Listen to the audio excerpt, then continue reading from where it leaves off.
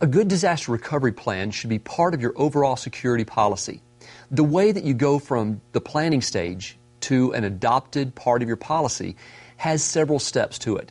You need to make sure that your disaster recovery plan is formally adopted. You have to have the authority behind it, or it's not going to do very much.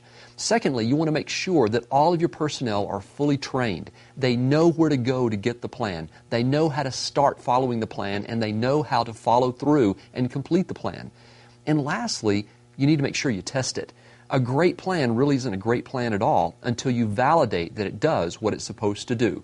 So let's take a look at several steps that we need to take to authorize, train, and accept and test your disaster recovery plan.